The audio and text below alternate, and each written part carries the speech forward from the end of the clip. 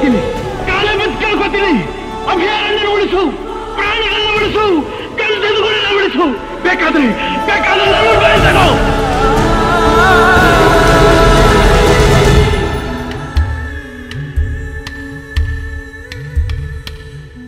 ಇದು ಫಸ್ಟ್ಲಿ ಅಪ್ಪುಗೆ ತುಂಬ ಇಷ್ಟವಾದ ಸಬ್ಜೆಕ್ಟ್ ಇತ್ತು. ತುಂಬ ಆಸೆಯಿಂದ ಮಾಡಿದ್ದು ಈ ಪ್ರಾಜೆಕ್ಟು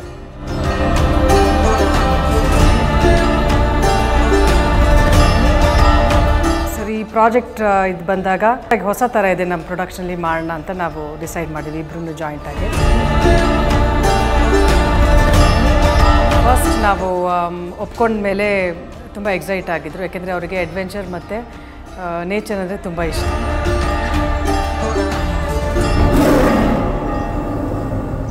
ನನ್ನ ವೈಲ್ಡ್ ಲೈಫ್ ಸಿನಿಮಾಗಳೆಲ್ಲ ನೋಡಿ ಮೀಟ್ ಮಾಡೋಣ ಅಂತ ಕರೆಸಿದ್ರು. ಹಾಗೆ ಒಂದು ಸಹ ಹೀಗೆ ಮಾತಾಡ್ತಾ ಮಾತಾಡ್ತಾ ಅವ್ರದ್ದು ಒಂದೊಂದು ಒಂದಷ್ಟೆಲ್ಲ ಐಡಿಯಾಸ್ ಇತ್ತು, ಈ ಥರ ಒಂದು ಫ್ಯಾಕ್ಚುಲ್ ಆಗಿ ಏನೋ ಮಾಡೋಣ ಅಂತ. ಹಾಗೆ ನಾನು ಹೇಳ್ತಿದ್ದೆ ನಮ್ಮ ಕಾಡೆಲ್ಲ ನೋಡೋಣ ಅಂತ, ಬನ್ನಿ ಅಂತ.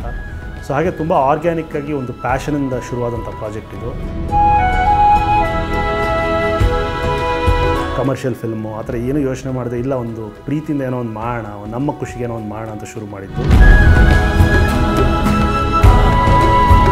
ದೊಡ್ಡ ಸ್ಟಾರ್ ಜೊತೆ ಒಂದು ಸಿನಿಮಾ ಮಾಡೋದಕ್ಕೆ ಒಂದು ಸ್ವಲ್ಪ ಭಯ ಇತ್ತು. ಬಟ್ ನಾನು ಅವ್ರು ಮೊದಲಿಂದನೂ ಹೇಳಿದೆ, ನಿಮ್ಮ ಸಿಂಪ್ಲಿಸಿಟಿ ನೋಡಿ ನಾನು ಕಣ್ಮುಚ್ಕೊಂಡು ಈ ಪ್ರಾಜೆಕ್ಟ್ ಒಪ್ಕೊಂಡೆ. ಯಾಕಂದರೆ ನನಗೆ ಒಂದು ಸ್ವಲ್ಪನೂ ಭಯ ಆಗದಂಗೆ ನೀವು ನೋಡ್ಕೊಂಡ್ರಿ. ಎಷ್ಟು ದೊಡ್ಡ ನೀವು ಸೂಪರ್ ಸ್ಟಾರ್ ಅಂದರೆ ಇಲ್ಲ ನಾನು ಸೂಪರ್ ಸ್ಟಾರ್ ಅಲ್ಲ, ಏನಲ್ಲ ನಾನು ಒಬ್ಬ ಆ್ಯಕ್ಟರ್ ಅಷ್ಟೇ ಅಂತ.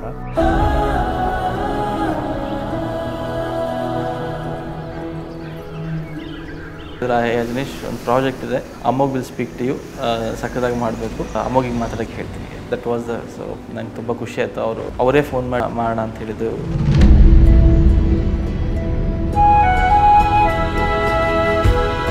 ಈ ಥರ ವರ್ಕ್ ಹೋಗಿ ಗ್ಲೋಬಲಿ ತಲುಪುತ್ತಲ್ಲ ಅನ್ನೋದು ನಾವು ಕೆಲಸ ಮಾಡ್ತೀವಿ. ಡಿಫ್ರೆಂಟಾಗಿ ಮಾಡೋಕ್ಕೆ ನಮಗೊಂದು ಅವಕಾಶ ಸಿಗುತ್ತೆ. ಕಮರ್ಷಿಯಲ್ ಸಿನಿಮಾಗಿಂತ ಇಲ್ಲಿ ಏನೋ ವಿಭಿನ್ನವಾಗಿ ಮಾಡೋಕ್ಕೆ ಅವಕಾಶ ಸಿಗುತ್ತೆ. ದಟ್ ಅದನ್ನ ನಂಗೆ ತುಂಬ ಎಕ್ಸೈಟ್ ಮಾಡಿ ಮಾಡ್ತಾರೆ ನಪ್ಪು ಡೇ ಒನ್ನಿಂದ ಕ್ಲಿಯರ್ ಆಗಿದ್ರು. ನಾನು ಜನರಿಗೆ ಆ ಸಂದೇಶ ಕೊಡಬೇಕು ಅಂತ ತುಂಬ ಎಕ್ಸೈಟ್ ಆಗಿದ್ರು ಇದು. ಎಲ್ಲ ಮಕ್ಕಳು ನೋಡಲಿ every person in the state every Kannadiga in the world ಇದನ್ನು ನೋಡಲೇಬೇಕು ಅನ್ನೋದು ಒಂದು ಯೋಚನೆ ಫಸ್ಟ್ ಡೇ ಇಂದ ಇತ್ತು ಅಪ್ಪಿಗೆ.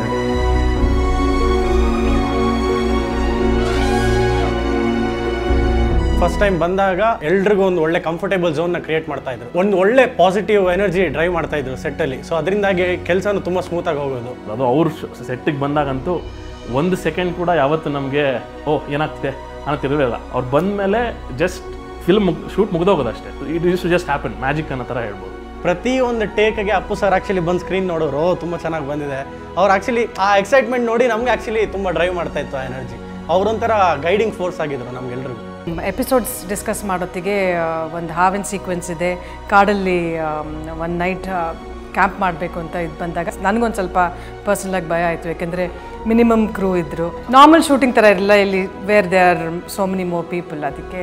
ಬಟ್ ಅಫ್ಕೋರ್ಸ್ ಅವ್ರ ಎಕ್ಸೈಟ್ಮೆಂಟ್ ನೋಡಿಬಿಟ್ಟು ನನಗೂ ಸರಿ ಧೈರ್ಯ ಮಾಡಿಬಿಟ್ಟು ಓಕೆ ತುಂಬ ಇಷ್ಟಪಟ್ಟು ಮಾಡಿದ್ದಲ್ಲ. ಸೊ ಹಾಗಾಗಿ it will be a good experience ಅಂದ್ಬಿಟ್ಟು.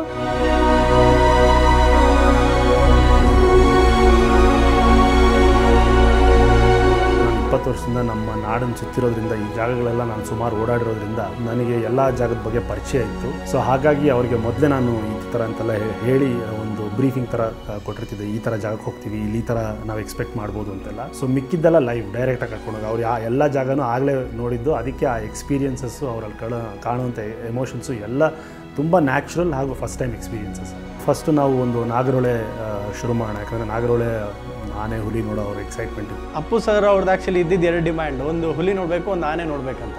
ಸೊ ಅಮ್ಮಗ್ ಅವ್ರಿಗೂ ಆ್ಯಕ್ಚುಲಿ ತುಂಬ ಅಂದರೆ ತೋರಿಸ್ಲೇಬೇಕಂತ ಒಂದು ಇದಿತ್ತು. ಸೊ ಯೂಶ್ವಲಿ ಹುಲಿ ಅಷ್ಟು ಸುಲಭವಾಗಿ ಸಿಗಲ್ಲ.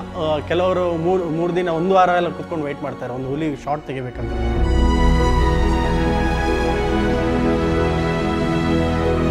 ಆರು ವರ್ಷ ಕಾಡಿಗೆ ಹೋದ್ಮೇಲೆ ನಾನು ನನ್ನ ಫಸ್ಟ್ ಹುಲಿ ನೋಡಿದ್ದು. ಸೊ ಅಪ್ಪು ಅವ್ರಿಗೆ ನಾನು ಮೊದಲೇ ಹೇಳಿದ್ದೆ ನೋಡಿ, ಆನೆ ಸಿಗೋ ಚಾನ್ಸಸ್ ಜಾಸ್ತಿ ಇದೆ ಬಟ್ ಹುಲಿ ಸಿಗೋದು ನನಗೆ ಸ್ವಲ್ಪ ಡೌಟ್ ಇದೆ ಬಟ್ ಆದಷ್ಟು ಪ್ರಯತ್ನ ಪಡೋಣ ಅಂತ. ಏ, ಇಲ್ಲ ಪರವಾಗಿಲ್ಲ ಅಂತಂದರು. ಹೋಗಿದ್ದ ದಿವಸನೇ ಅವ್ರಿಗೆ ಹುಲಿ ಕಾಣಬೇಕಾ? ನಾವೆಲ್ಲ ಆರು ವರ್ಷ ಕಾದಿದ್ದೀವಿ ಅವ್ರಿಗೆ ಹೋಗಿದ್ದ ದಿವಸನೇ ಹುಲಿ ಕಾಣ್ತು. ಸೊ ಹಾಗಾಗಿ ಅಷ್ಟೇ, ಅದು ಪುಣ್ಯ ಅಂತ ಹೇಳ್ಬೋದು ಅಷ್ಟೇ. ಆ ಶಾರ್ಟ್ನ ನನ್ನ ಫೋನಲ್ಲೇ ಶೂಟ್ ಮಾಡಿದ್ದೆ, ಯಾಕಂದರೆ ಸಡನ್ನಾಗಿ ಅವಾಗ ಕ್ಯಾಮ್ರಾ ಎಲ್ಲ ಇರಲಿಲ್ಲ ಜೀಪ್ ಜೀಪಲ್ಲಿ ಸಡನ್ನಾಗಿ ಹೇಗಿತ್ತು ನಿಮ್ಮ ಎಕ್ಸ್ಪೀರಿಯನ್ಸ್ ಅಂತ ಲೈವ್ ಡಾಕ್ಯುಮೆಂಟ್ ಮಾಡಿದ್ವಿ ಅದು ಎಲ್ಲ ಸೀಕ್ವೆನ್ಸ್ ಆದಮೇಲೆಲ್ಲ ಬಂದು ಕೂತ್ಕೊಳ್ತು, ಸುಮಾರು ಹೊತ್ತು ಕೂತ್ಕೊಂಡಿತ್ತು, ಸುಮಾರು ಹೊತ್ತು ನೋಡಿದ್ವಿ. ಆಮೇಲೆ ಅದು ಎದ್ದು ಕಾಡು ಒಳಗಡೆ ಹೊರಟಾಯ್ತು ಸೊ ಪ್ರತಿದಿನ ಶೂಟ್ ಸ್ಟಾರ್ಟ್ ಆಗ್ತಾ ಇದ್ದಿದ್ದು ನಮ್ಮದು ಗೋಲ್ಡನ್ ಲೈಟ್ಗೆ ಬೆಳಗ್ಗೆ ಸನ್ರೈಸ್ ಆಗಲಿ, ಇಲ್ಲ ಸನ್ಸೆಟ್ ಟೈಮಲ್ಲಿ ಆಗ್ತಾ ಇರೋದ್ರಿಂದ ಡೇ ಟೈಮಲ್ಲಿ ನಮಗೆ ತುಂಬಾ ಟೈಮ್ ಸಿಗೋದು. ಆ ಫುಟೇಜ್ ನೋಡಿದ ತಕ್ಷಣ ತುಂಬ ಎಕ್ಸೈಟೆಡ್ ಆಗಿ ಅವರು he would see the footage and say ಎಷ್ಟು ಚೆನ್ನಾಗಿ ಬಂದಿದೆ ನ್ಯಾಚುರಲ್ ಲೈಟಲ್ಲಿ ಅಂತ because there was no lighting otherwise there was no artificial lighting at all every day ಶೂಟ್ಗೆ he was looking forward ಯಾಕಂದರೆ ಹೊಸ ಜಾಗಕ್ಕೆ ಹೋಗ್ತಾ ಇದ್ವಿ, ಹೊಸ ಕಡೆ ನೋಡ್ತಾ ಇದ್ವಿ. ಪ್ರತಿ ಒಂದು ಸತಿನೂ ಇಟ್ ವುಡ್ ಬಿ ನ್ಯೂ ಕೆರೆನೇ ಇರ್ಬೋದು, ಆ ವಾಟರ್ ಫ್ಲೋ ಆಗಲಿ, ಇಲ್ಲ ಮರಗಳಾಗಲಿ ಒಂದು ಕಡೆ ಗ್ರೀನ್ರಿ ಇದ್ದರೆ ಇನ್ನೊಂದು ಕಡೆ ಡ್ರೈ ಇರೋದು ಒಂದು ಕಡೆ ಬಂಡೆ ಇರ್ತಿತ್ತು. ಸೊ ಪ್ರತಿ ಸತಿ it was exciting you could see that excitement in his face and was very happy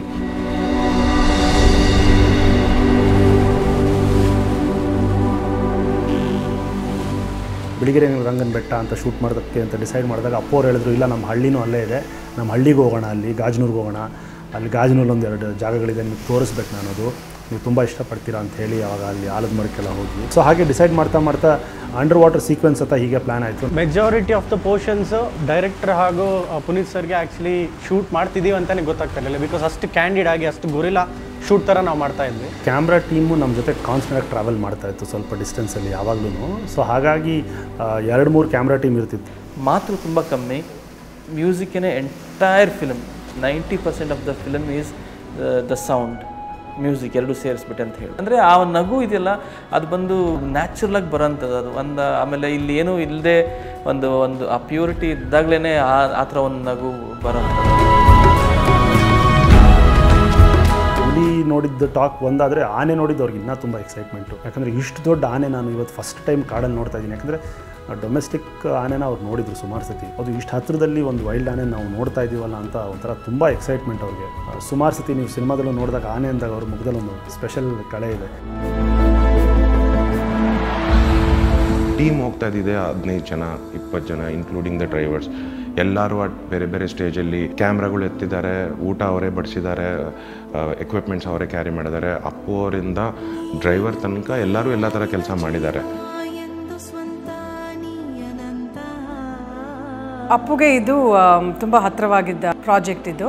ಅವ್ರ ಎಕ್ಸ್ಪೀರಿಯನ್ಸಸ್ ಬಂದು ಹಂಚ್ಕೊಂಡಾಗ ಯಾವಾಗಲೂ ಎಕ್ಸೈಟ್ ಆಗ್ತಿದ್ರು. ಒಂದು ಜಾಗದಲ್ಲಿ ಶೂಟಿಂಗ್ ಆದ ತಕ್ಷಣ ಫೋನ್ ಮಾಡಿ, ಓ, ಇದು ಇವತ್ತು ಈ ಎಪಿಸೋಡ್ ಆಯಿತು, ಅದಾಯಿತು, ಇದಾಯಿತು ಅಂತ. ತುಂಬ ಎಕ್ಸೈಟೆಡ್ ಆಗಿದ್ರು ಯಾವಾಗಲೂ ಯೋಚನೆ ಮಾಡೋದ್ರಿಂದ ಶೂಟ್ ತನಕ ಒಂದು, ಒಂದೂವರೆ ತಿಂಗಳಲ್ಲಿ ನಾನಂತೂ ಯಾವ ಪ್ರಾಜೆಕ್ಟು ಮಾಡಿಲ್ಲ. ಹಾಗಾಗಿ ಅವ್ರಿಗೊಂದು ಸಣ್ಣ ಒಂದು ಟ್ರೈಲರ್ ಥರ ತೋರಿಸಿದ್ವಿ ಒಂದು.